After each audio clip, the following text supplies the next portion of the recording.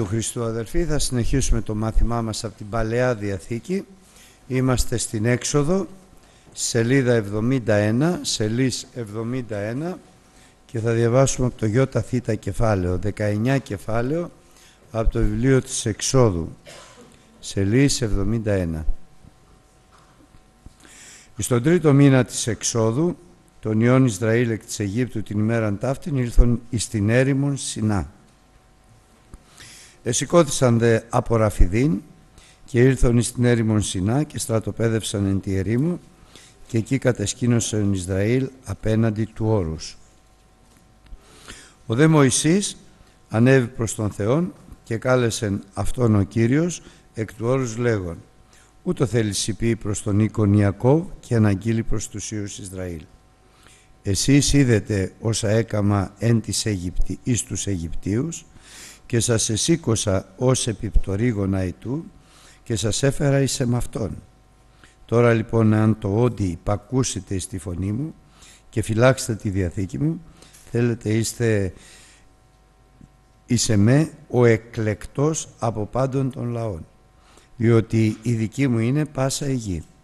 Και εσείς θέλετε είστε εις εμέ βασίλειον ιεράτευμα και έθνος Άγιον. Ούτε είναι οι λόγοι τους οποίους θέλει πει προς τους Ιούς Ισραήλ. Και ήλθε ο Μωυσής και κάλεσε τους πρεσβυτέρους του λαού και έθεσε έμπροσθεν αυτόν πάντα σε εκείνους τους λόγους τους οποίους προσέταξε εις αυτόν ο Κύριος. Και απεκρίθη ομοφόνος πάσο λαός λέγον πάντα όσα είπε ο Κύριος ηθέλομεν πράξη και ανέφερε ο Μωυσής προς τον Κύριο τους λόγους του λαού. Και είπε ο Κύριος προς τον Μωυσή «Ιδού εγώ έρχομαι προς ε, εν εφέλη πυκνή για να ακούσει ο λαός όταν λαλήσω προσέ και έτη να πιστεύει σε πάντοτε. Ανήγγειλε δε ο Μωυσής προς τον Κύριο τους λόγους του λαού. Και είπε Κύριος προς τον Μωυσήν, είπαγε προς τον λαόν και αγίασον αυτού σήμερα και αύριο και ας πλήνωση τα ημάτια αυτών και ας είναι έτοιμοι στην ημέρα την τρίτη, διότι εν τη μέρα την τρίτη θέλει καταβεί ο Κύριος επί το όρο Σινά ενώπιον παντός του λαού και θέλεις βάλεις τον λαόν όρια κυκλώθεν λέγον προσέχετε εις σε αυτούς μη αναβείτε εις το όρος ή εγγύσετε εις τα άκρα αυτού ως της εγγύσει το όρος θέλει εξάπαντος θανατωθεί δεν θέλει εγγύηση εις αυτόν χείρ διότι με λίθους θέλει λιθοβοληθεί ή με βέλη θέλει κατατοξευθεί. Είτε ζώον είναι είτε άνθρωπος δεν θέλει ζήσει. Όταν η σάλπη ψυχήσει τότε θέλουν να αναβεί επί το όρος και κατέβη ο Μωυσής από το όρους προς τον λαόν και υγείασε τον λαόν και έπλυναν τα ημάτια αυτών και είπε προς τον λαόν γίνεστε έτοιμοι για την ημέρα την τρίτη μη πλησιάσετε εις γυναίκα και εν τη μέρα την τρίτη το πρωί έγιναν βροντέ και αστραπέ και νεφέλη πυκνή το επί του όρους και φωνή σάλπικος δυνατής σφόδρα και έτρεμε πάσο λαός εν το στρατοπέδο. Τότε εξήγαγεν ο Μωυσής των λαών εκ του στρατοπέδου η συνάντηση του Θεού και στάθησαν υπό το όρος. Το δε όρος συνάει το όλον καπνός, διότι κατέβει ο Κύριος εμπειρίπ επ' αυτό. Ανέβαινε δε ο καπνός αυτός καπνός καμίνου και όλον το όρος εσύετο σφόδρα. Και ότε η φωνή της άλπικος προέβαινε αυξανωμένης σφόδρα, ο Μωυσής ελάλη και ο Θεός απεκρίνεται προς αυτόν με τα φωνής. Και κατέβει ο Κύριος επί το όρος Σινά επί την κορυφή του όρους και κάλεσε Κύριος τον Μωυσήν επί την κορυφή του όρους και ανέβη ο Μωυσής. Και είπε ο Θεός προς τον Μωυσή κατά βάς διαμαρτυρήθη προς τον λαόν μήποτε υπερβώσει τα όρια και αναβώσει προς τον Κύριον δια να περιεργαστώσει και πέσωση πολύ εξ αυτών. Και οι ιερείς δε οι πλησιάζοντες προς τον Κύριον ας αγιαστώσει για να μην εξορμήσει ο Κύριος επ' αυτούς. Και είπε ο Μωυσής προς τον Κύριον «Ο λαός δεν δύναται να αναβεί στο όρο Σινά, διότι εσύ προσέταξε μας λέγον βάλε όρια, κυκλώθεν το όρους και αγίασον αυτό». Και είπε ο Κύριος προς αυτόν «Είπαγε κατάβηθη, έπειτα θέλεις να αναβεί εσύ και ο Άρων μετά σου, οι ιερείς όμως και ο λαός ας μην υπερβώσει τα όρια, για να αναβώσει προς τον Κύριον, για να μην εξορμήσει επ' αυτούς». Και κατέβη ο Μωυσής προς τον λαόν και ομίλησε προς αυτούς. Αμήν. Ήδη φτάσαμε στην κρίσιμη ημέρα.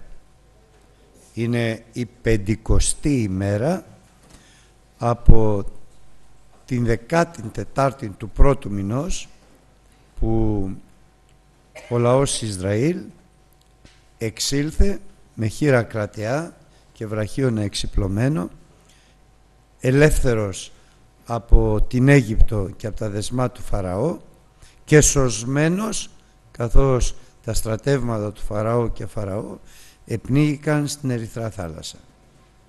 Και έτσι τώρα αφού πέρασαν ο λαός Ισραήλ μεγάλες δοκιμασίες δίψας και πείνας και με θαυμαστό τρόπο ο Θεός τακτοποίησε τις ελλείψεις του λαού Ισραήλ καθώς περπατούσε στην έρημο δηλαδή την πείνα του την κάλυψε με το μάνα το οποίο κάθε πρωί για έξι μέρες έδιδε ο Θεός και ήταν μια τροφή ιδιαίτερη προς το λαό Ισραήλ αλλά και τη δίψα τακτοποίησε ο Θεός στο βράχο Χορίβ εκ της πέτρας που ήταν στον Χορίβ, στο όρος Χορίβ όπου όπως λέει ο Απόστολος Παύλος πέτρα ακολουθούσε και έδιδε συνεχόμενα νερό στο λαό Ισραήλ και αυτή η πέτρα ήταν ο Χριστός.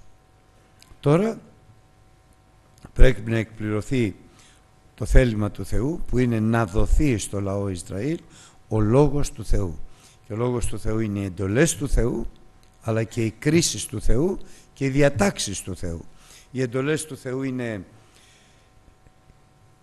οι σχέσεις του ανθρώπου με το Θεό αλλά και η δικαιοσύνη των ανθρώπων μεταξύ τους οι δέκα εντολές λεγόμενες και μετά θα έρθουν οι κρίσεις του Θεού που θα περιορίζουν και θα προσδιορίζουν τη σχέση των ανθρώπων ενώπιον του Θεού ώστε η κρίση να γίνεται από τους ανθρώπους του Θεού, από το Μωυσή αλλά και από τους άλλους που θα εκλέξει ο Μωυσής πάντοτε με κριτήριο το γεγραμμένο Λόγο του Θεού. Και τα διατάγματα και οι εντολές συγγνώμη, και τα διατάγματα όπου πραγματικά προσδιορίζεται ε, από το Λόγο του Θεού οι σχέσεις των ανθρώπων μέσα στο περιβάλλον που ζουν. Είναι λοιπόν α, εντολές, κρίσεις και διατάγματα.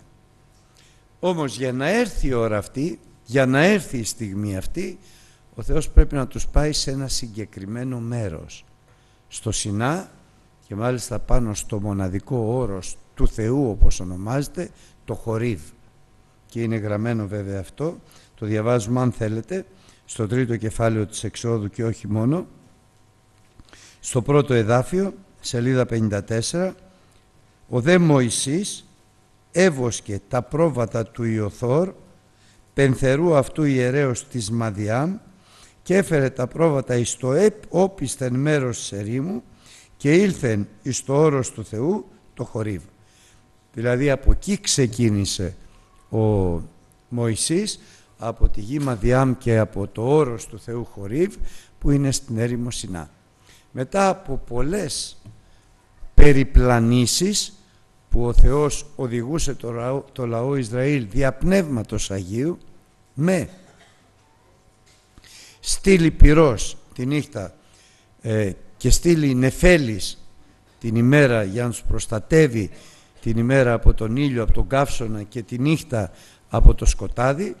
Ο λαός του Θεού βρέθηκε την πρώτη μέρα του τρίτου μηνός βρέθηκε στην έρημο Σινά οδηγούμενος από τον Θεό διαπνεύματος Αγίου και εσηκώθησαν από Ραφιδίνο που ήσαν προηγούμενα καθώς εκεί επήραξαν τον Κύριο και λιδόρισαν το λαό για τη δίψα και για την πείνα και κατεσκήνωσαν στο ενέρημο Σινά απέναντι του όρους του Θεού, του όρους Χορίβ.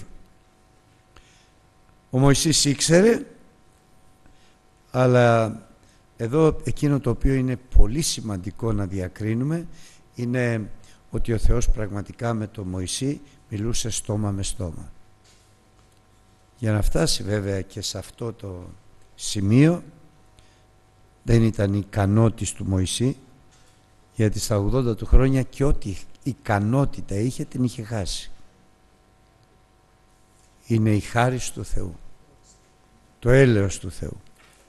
Είναι η επιλογή του Θεού που έκαμε καθώς εξέλεξε το Μωυσή και είναι και ο χαρακτήρας του Μωυσή ο οποίος είχε ένα μέγα χαρακτηριστικό πάντοτε έκανε κατά πάντα το Λόγο του Θεού αν και μια φορά παρεύει την κατά πάντα εκτέλεση του Λόγου του Θεού και του στήχησε να μην εισέλθει αυτό στη γη της Επαγγελίας.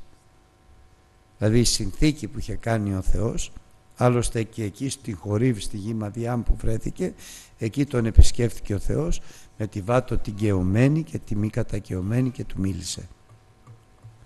Έχουν περάσει από τότε περισσότερο από 50 μέρες γιατί κάποιες μέρες αρκετές έλαβε χώρα ε, η, η ενέργεια, έλαβαν χώρα οι ενέργειες του Θεού για την ελευθερία του λαού Ισραήλ. Τώρα λοιπόν βρέθηκε εκεί που έπρεπε να είναι με έναν λαό χορτασμένο από το μάνα και ξεδιψασμένο από το νερό της πέτρας. Με έναν λαό πια που κατάλαβε όχι τη δύναμη του Θεού μόνο στην Αίγυπτο αλλά και τη δύναμη του Θεού στις ταλαιπωρίες της πορείας Του. Δεν είναι δηλαδή ότι ο Θεός μας ελευθερώνει από τον Φαραώ που είναι η προτύπωση του διαβόλου και από τους Αιγυπτίους που είναι ο κόσμος αλλά το πιο σημαντικό ίσως είναι που μας ελευθερώνει από τις συνθήκες τις δύσκολες που περνάμε στη ζωή μας δηλαδή εισερχόμεθα από τη στενή πύλη και περπατάμε την τεθλιμμένη οδό αλλά μέσα σε αυτή την πορεία μας μας σώζει, μας φυλάτει την καρδιά μας μεταβάλλοντας την καρδιά μας αποδεικνύοντας ο Θεός στην καρδιά μας την αγάπη Του και την πατοδυναμία Του και τη χάρη Του και το έλεος Του. Και αν δεν γρήγορα εκπαιδευτούμε από το Θεό που μας εκπαιδεύει, η εκπαίδευση συνεχίζεται με δοκιμασίες και πειρασμούς. Ο λαός Ισραήλ λοιπόν θα έλεγε κανείς ότι μέχρι τώρα διορθώθηκε και αποδεικνύεται αυτό. Γιατί ο Θεός καθώς ο Μωυσής ανέβηκε στο όρος προς τον Θεό γνωρίζοντας ότι αυτό είναι το όρος του Θεού ανέβηκε να συναντήσει το Θεό εκεί ο Κύριος τον εκάλεσε εκ του όρους λέγον ούτω θέλεις πει προς τον οίκον Ιακώβ και αναγγείλει προς τους Ιούς Ισραήλ έχει ένα μήνυμα που περιμένει απάντηση έχει ένα μήνυμα υποσχέσεις ευλογίας που περιμένει όμως την ανταπόκριση του λαού Ισραήλ, του λαού του Θεού. Δεν ρωτάει τον Μωυσή, για τον Μωυσή ξέρει. Υπάρχει η εμπειρία και υπάρχει και η γνώση της σχέσης του Θεού με τον Μωυσή. Εκείνο όμως τώρα που ο Θεός θέλει να οικοδομήσει και να χτίσει είναι τη σχέση με το λαό. Ξαναλέω ότι ο Μωυσής της Εξόδου είναι η προτύπωση του Ιησού Χριστού της δικής μας αναγέννησης και σωτηρίας. Με το Λόγο του Θεού μας αναγέννησε ο Πατέρας της Ελπίδας Ζώσα και εμείς σωθήκαμε με το βάφτισμα ενίδατη καθώς ο λαός Ισραήλ πέρασε από την Ερυθρά θάλασσα και εμείς σωθήκαμε το βάφτισμα ενίδατη καθώς αφέθησαν οι αμαρτίες μας και το σώμα των αμαρτιών της αρκός έμεινε και θαύτηκε και έφτασε μέχρι τα βάθη των θαλασσών. Και εμείς την πεντηκοστή ημέρα λάβαμε με την παρουσία του Θεού το Λόγο Του και το Πνεύμα Του το Άγιο. ακριβώς όπως και ο λαός Ισραήλ μόνο που στην Παλαιά Διαθήκη ήταν με φυσικό τρόπο στην Καινή Διαθήκη είναι απολύτως με πνευματικό τρόπο και έτσι λοιπόν την Πεντηκοστή ημέρα κάνει μια συνθήκη ο Θεός με το λαό του όπως έκαμε και κάμει μια συνθήκη ο Θεός με μας όταν μας επισκέπτεται με τη δύναμη του Πνεύματος του Αγίου.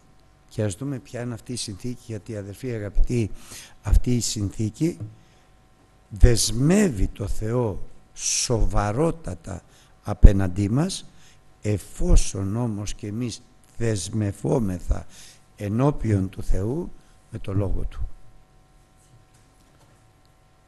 Σεις λοιπόν είδατε όσα έκαμα στους Αιγυπτίους. Γιατί αν δεν έκαμα αυτά που έκαμα στους Αιγυπτίους, εσείς δεν θα ήσασταν ελεύθεροι, αλλά θα συνεχίζατε να είσαστε δούλοι. Σεις είδατε όσα έκανα στους Αιγυπτίους και πώς εγώ σας εσήκωσα ως επιπτερίγωνα αετού και σας έφερα κοντά μου.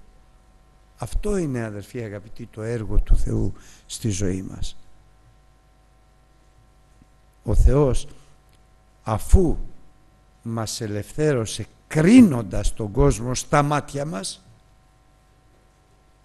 φανερώνοντας στα μάτια μας την αμαρτία του κόσμου και μέσα μας την αμαρτία του κόσμου τότε μας ελευθέρωσε από την αμαρτία και από τον κόσμο που κουβαλάγαμε μέσα μας αλλά και από τον κόσμο μέσα στον οποίο περπατάμε και μας εσήκωσε ο Θεός δια του Ιησού Χριστού με σημεία τεράστια και μεγαλεία που δεν είναι τίποτα άλλο από την προσωπική μας ομολογία και μας έφερε κοντά Του.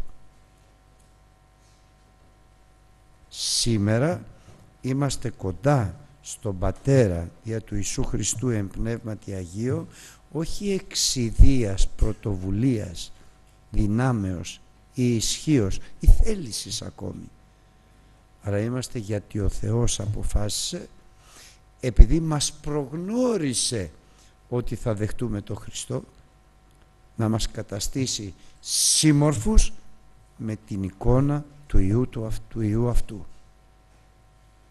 Με αποτέλεσμα μας εδικαίωσε με την αναγέννηση και μας δόξασε με το Πνεύμα το Άγιο. Είναι απίστευτη δόξα να είμεθα ναός του Πνεύματος του Αγίου. Να κατοικεί δια Πνεύματος Αγίου μέσα μας, να είμαστε ναός του Θεού, καθώς μέσα μας κατοικεί δια Πνεύματος Αγίου η Τριάδα, η Ομοούσιος και Αχώριστος. Κατοικεί μέσα μας δια Πνεύματος Αγίου Τριαδικός Θεός που δεν τον χωράνε τα σύμπαντα. Επειδή λοιπόν μας προγνώρισε, γι' αυτό και μας προόρισε να γίνουμε σύμμορφοι με την εικόνα του Ιού αυτού. Και αφού μας προόρισε, μας εκάλεσε. Σας αγάπησα με αγάπηση αιώνια και σας ήλκησα με έλεος. Μας εκάλεσε και μας αποκάλυψε. Αυτό είναι φοβερή αποκάλυψη. Ότι ο Ιησούς ο Ναζωραίος εκείνος εκεί ο νεαρός τον οποίον θανάτωσαν οι Ρωμαίοι και οι Ισραηλίτες δεν είναι άλλος από τον απεσταλμένο και ενσαρκωμένο Λόγο του Θεού που ο Θεός τον απέστειλε στον κάθε έναν από μας ξεχωριστά για να μας σώσει. Γιατί μόνο ο Χριστός σώζει μόνο αν επικαλεστούμε το όνομα του Χριστού αναγεννόμεθα, σωζόμεθα. Διενός διουδενός άλλου ονόματος είναι δεδομένο μεταξύ του ουρανού και της γης. Διουδενός άλλου ονόματος είναι δεδομένο να σωθούμε. Μόνο ένα όνομα είναι δοσμένο από το Θεό δια του οποίου πρέπει να σωθούμε. Τι σημαίνει πρέπει; Πρέπει σημαίνει ότι δεν υπάρχει άλλος τρόπος δεν υπάρχει άλλος τρόπος να σωθεί ο άνθρωπος. Ο άνθρωπος για να σωθεί πρέπει να επικαλεστεί το όνομα του Χριστού και όταν επικαλεστεί το όνομα του Χριστού κατά χάριν σώζεται διότι πίστεψε ότι ο Ιησούς ο Ναζωραίος όχι μόνο είναι απεσταλμένος του Θεού είναι ο Υιός του Θεού ο Χριστός είναι ο ενσαρκωμένος Λόγος του Θεού είναι αυτός ο οποίος πέθανε για τις αμαρτίες μας ο Θεός τον ανέστησε για τη δικαιοσύνη μας ζει και μάλιστα στα δεξιά του Πατρός και μεσητεύει και προσεύει για τον κάθε έναν από εμάς. Και τόσο πολύ αγάπησε ο Θεός τον κόσμο που δεν ελυπήθηκε να στείλει ενσαρκωμένο τον Υιό του το μονογενή το λόγο το οποίος εξήλθε εξ αυτού να λάβει δούλου μορφή αφού απαρνηθεί τη δόξα του και έλαβε δούλου μορφή γενόμενος όμοιος με τους ανθρώπους και ταλαιπωρήθηκε κατά την ομοίωση με εμάς τους ανθρώπους κατά πάντα για να μπορεί να μας γνωρίζει, να μας καταλαβαίνει, να συμπάσχει μαζί μας. Και γενόμενος κατά το σχήμα, όχι κατά την ουσία άνθρωπος, γιατί ποτέ δεν έπαψε η ουσία του να είναι ο αληθινός Θεός. Και γενόμενος κατά το σχήμα ως άνθρωπος, εταπείνωσε τον εαυτό του οικειοθελώς μπορούσε να βάλει την ψυχή του μπορούσε και να τη λάβει την ψυχή του οικειοθελώς παρεδόθη όχι στους ανθρώπους εις τον κρίνοντα δικαίως ο οποίος τον παρέδωσε στους ανθρώπους για να τον θανατώσουν. Δεν παραδόθηκε στους ανθρώπους άνομος, αναμάρτητος. Μη έχουν δόλο εις το πνεύμα του. Παρεδόθη στον κρίνοντα δικαίως. Ο οποίος φοβερό τον Υιό του τον παρέδωσε. Δεν τον λυπήθηκε τον έδωκε στους ανθρώπους να τον σταυρώσουν και να θανατωθεί με ένα θάνατο εντελώς ονειδισμού. Κατάρας, επικατάρατος σταυρωμένος. Πάνω στο σταυρό του Γολγοθά ο οποίος επαναλαμβάνω έδωσε την ψυχή του για μας παραμένοντας αναμάρτητος μέχρι τέλους ο διάβολος δεν μπόρεσε να τον νικήσει. Και ποιος ήταν ο πόλεμος και ποιος είναι ο πόλεμος του διαβόλου; Να σε νικήσει σκανδαλίζοντάς σε πλανώντας σε τρομοκρατώντας σε δελεάζοντας σε αυτές είναι οι πονηριές του διαβόλου κατηγορώντας τον Θεό σε σένα και στο Θεό εσένα. Δεν κατάφερε να τον νικήσει γιατί το όπλο του ήταν ο Λόγος του Θεού και η δύναμη του Πνεύματος του Αγίου. Και αυτό είναι το όπλο μας και μας.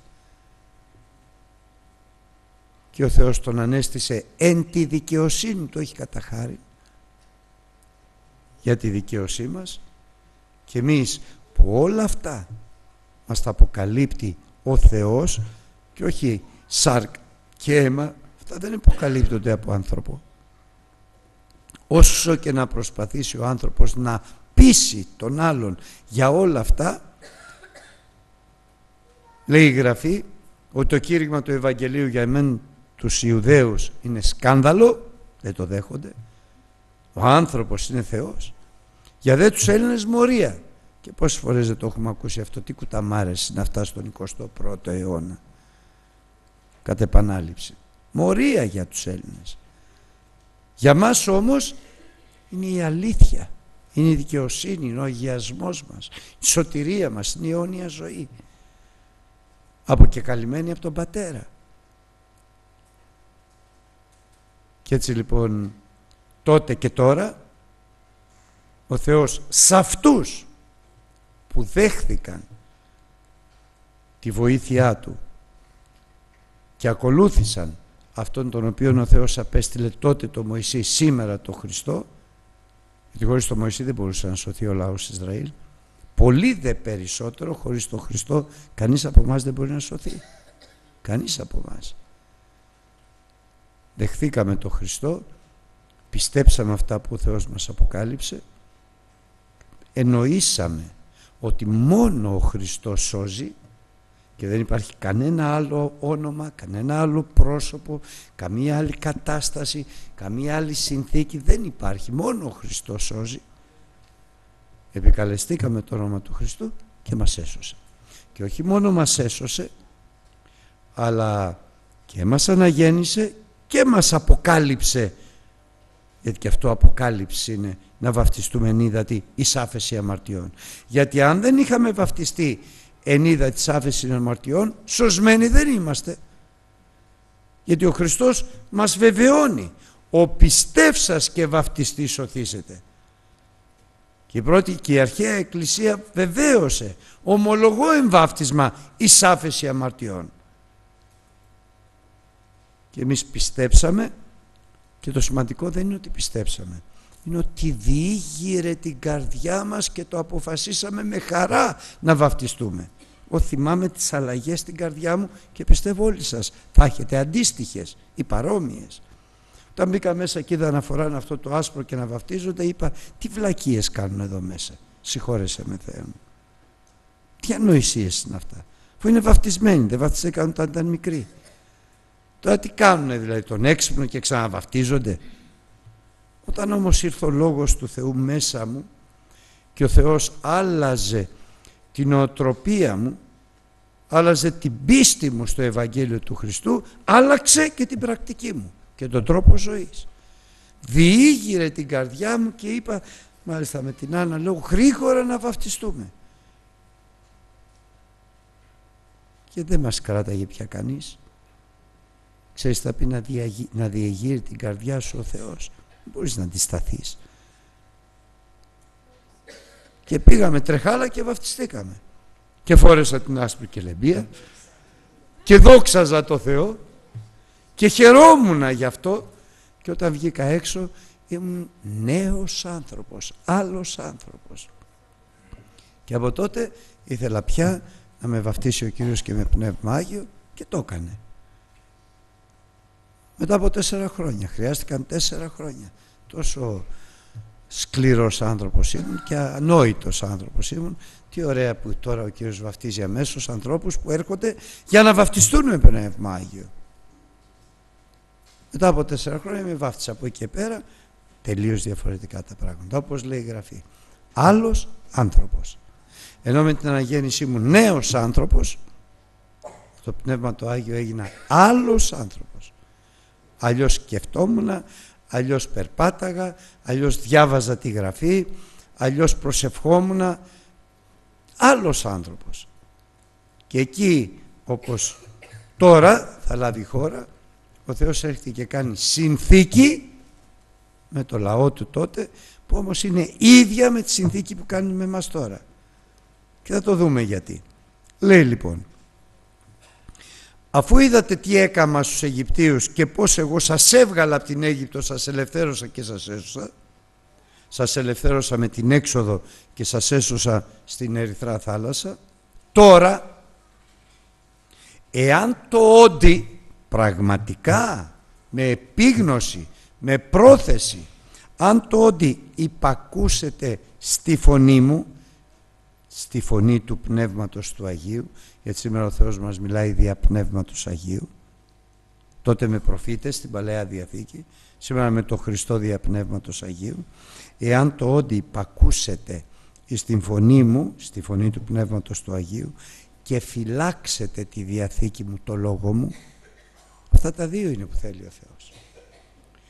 Να μελετάμε το Λόγο του Θεού, να μένουμε στο Λόγο του Θεού ώστε η προκοπή μας να είναι φανερή σε όλους τους ανθρώπους από την εύνοια του Θεού και την ευλογία του Θεού να είμαστε προσεκτικοί προσέχετε, αγρυπνείτε και προσεύχεστε στον εαυτό μας ώστε πραγματικά να φυλάμε το Λόγο του Θεού και στη διδασκαλία στο Λόγο του Θεού.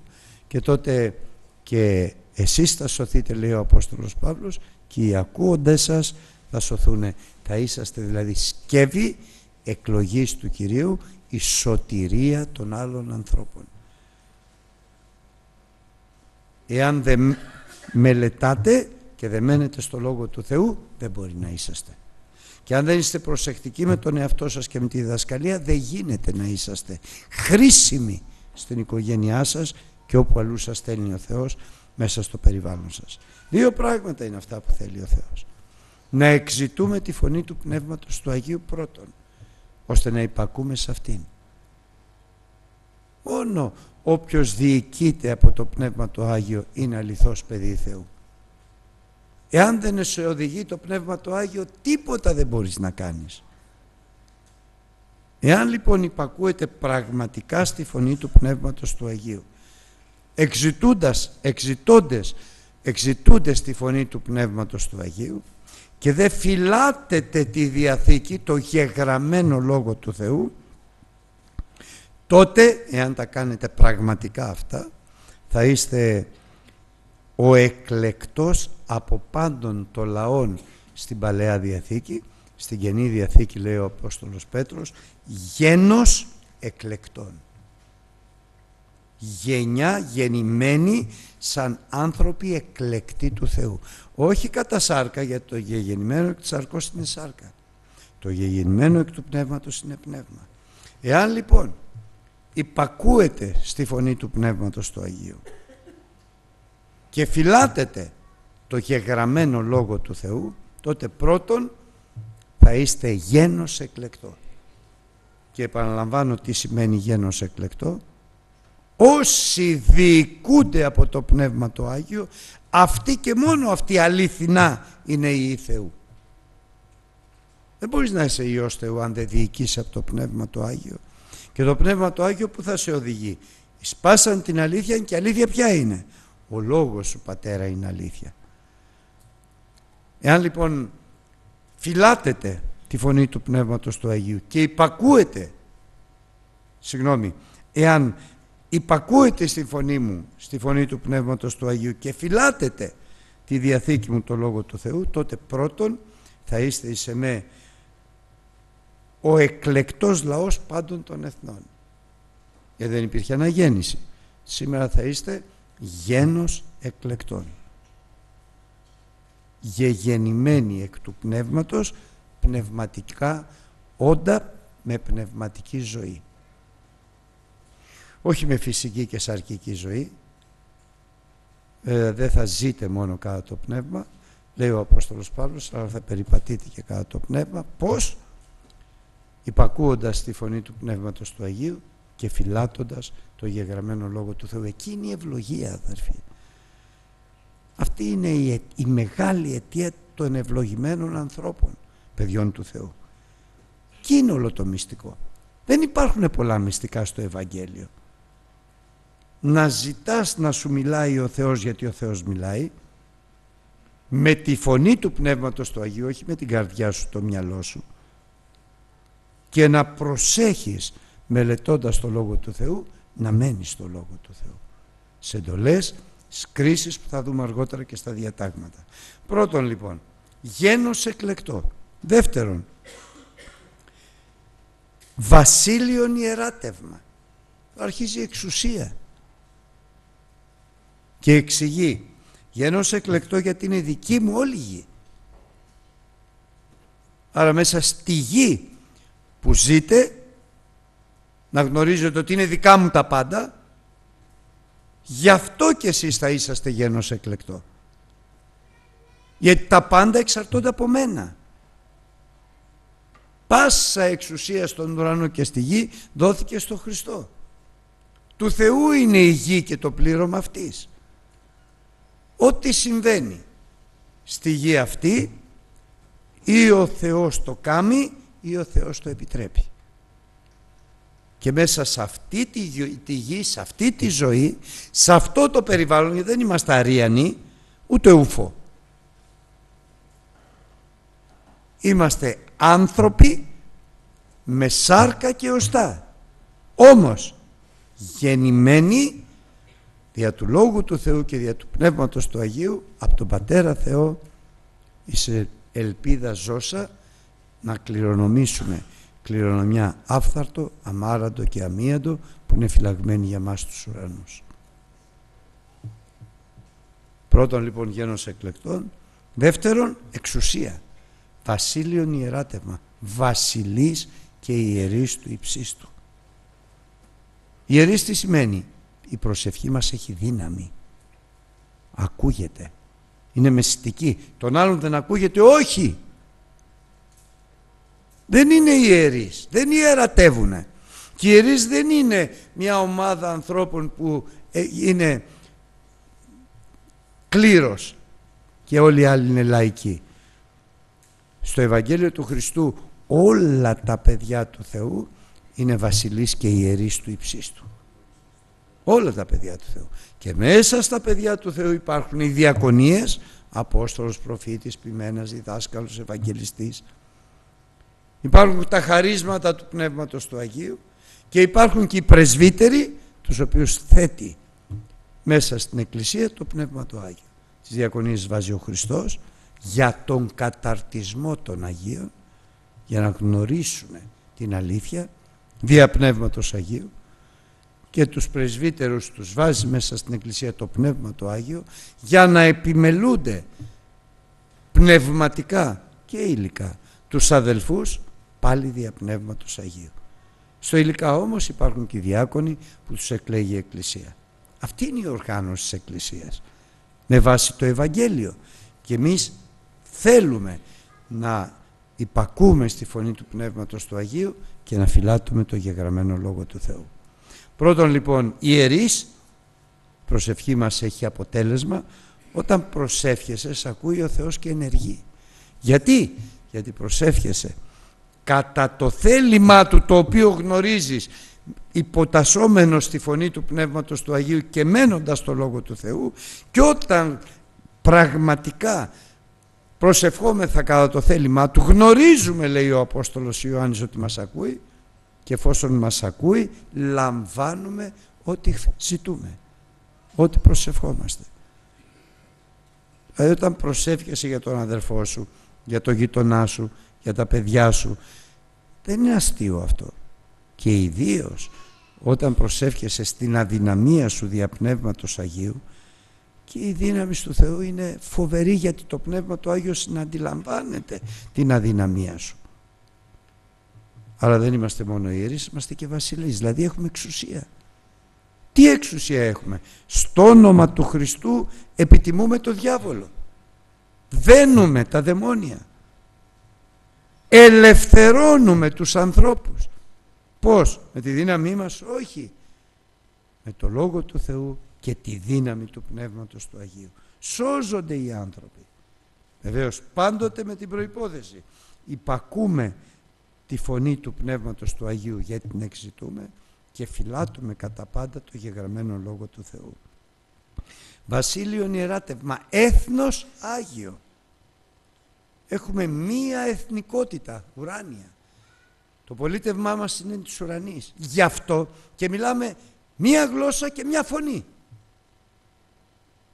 Καλά δεν υπάρχουν πολλές γλώσσες. Για τον κόσμο ναι.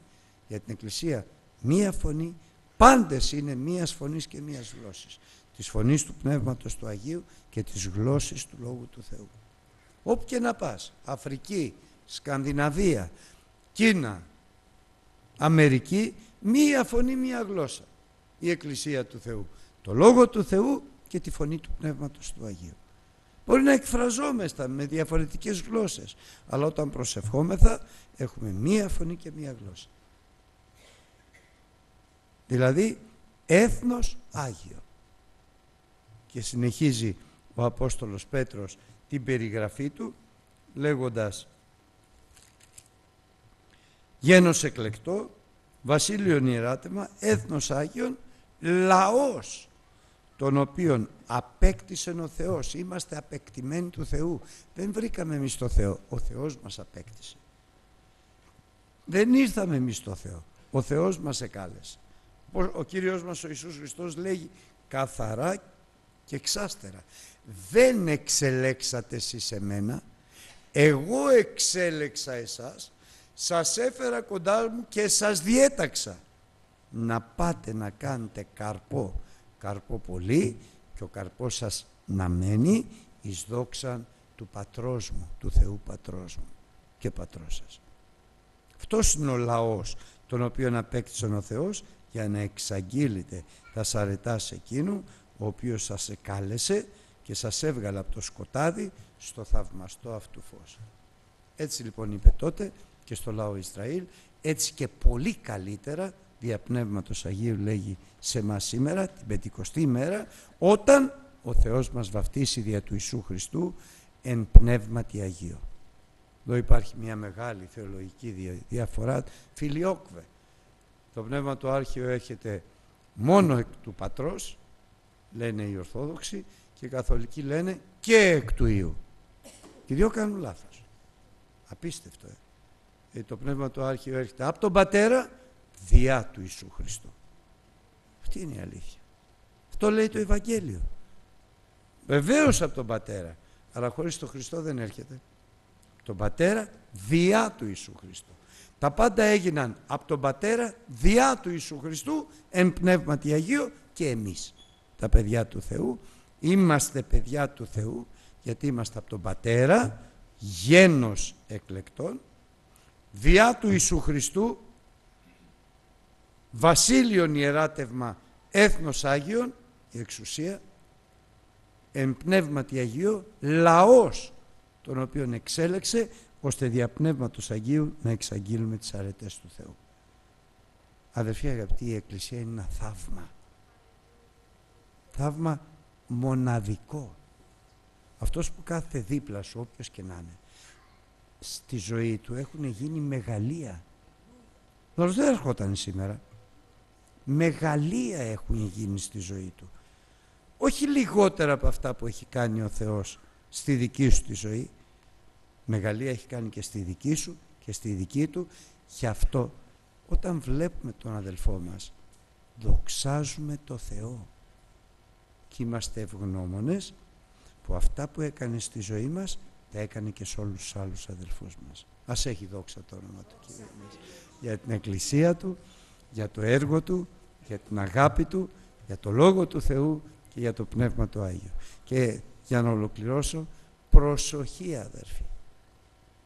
Το μυστικό του ευλογημένου ανθρώπου δεν είναι να κάνουν προσευχές ατέλειωτες, να κάνουν ε, θυσίες, να κάνουν... Δεν είναι αυτό. Ένα είναι. Να υπακούν στη φωνή του Πνεύματος του Αγίου και να φυλάτουν το Λόγο του Θεού. Από εκεί και πέρα, ό,τι και να κάνεις, ο Θεός θα είναι μαζί σου. Την προσευχή σου θα την ευωδώνει. Την πορεία σου θα την ευλογεί. Την οικογένειά σου θα την αυξάνει. Γιατί υπάρχει μια φοβερή υπόσχεση που έδωσε ο Θεός στον Αβραάμ και η οποία μεταφέρεται εν το σπέρματι αυτό, αυτού και λέει ο Απόστολος Παύλος όταν λέει εν το σπέρματι δεν μιλάει για πολλά σπέρματα. Μιλάει για ένα. Και αυτό το ένα σπέρμα είναι ο Χριστός μεταφέρεται λοιπόν η υπόσχεση του Θεού που εδόθη στον Αβραάμ εν το σπέρματι αυτού σε όλα τα έθνη γιατί έτσι λέει. Εν το σπέρματί σου θα ευλογηθούν όλα τα έθνη. Και εμείς είμαστε ένα κομμάτι από όλα τα έθνη. Και τι είπε;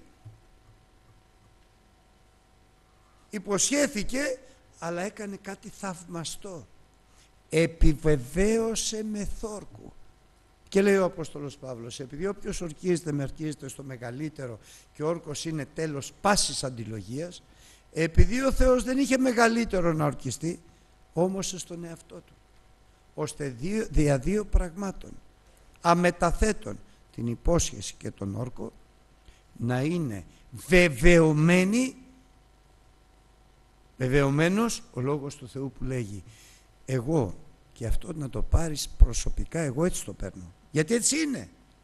Εγώ ευλογών όλους θα ευλογήσω και σένα και πληθύνων όλους θα πληθύνω και σένα. Και αυτή είναι η ελπίδα μας.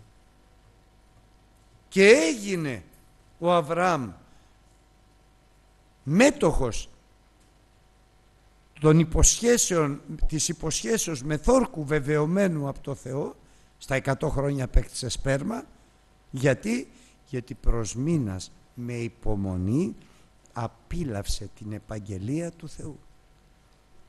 Πράγμα το οποίο απαιτείται και από μας να προσμένουμε με υπομονή ότι ο Κύριος με θόρκου μας υπόσχεται ευλογών θα σε ευλογήσω και πληθύνων θα σε πληθύνω. Και κάτω αυτό η ελπίδα σου η οποία είναι βεβαία και ασφαλής στη ζωή σου. Ασφαλής τι; Μέσα σε αυτή την ελπίδα θα είσαι ασφαλής. Βέβαια θα έχεις τη βεβαιότητα της παρουσίας του Θεού και η οποία θα φτάνει σαν άγκυρα της ψυχής σου πίσω από το καταπέτασμα εκεί που είναι ο θρόνος της χάριτος του Θεού. Στερεωμένος σε μια ελπίδα βεβαίως και ασφαλή που είναι η άγκυρα της ψυχής μας. Αδελφοί αγαπητοί, είμαστε καταδικασμένοι να είμαστε ευλογημένοι. Ωραία καταδίκη όμως. Καταδικασμένοι να είμαστε ευλογημένοι. Εφόσον υπο, υπακούμε στη φωνή του Πνεύματος του Αγίου γιατί την εξητάμε και επειδή φυλάτουμε το Λόγο του Θεού το γεγραμμένο επειδή τον πιστεύουμε. Αμήν.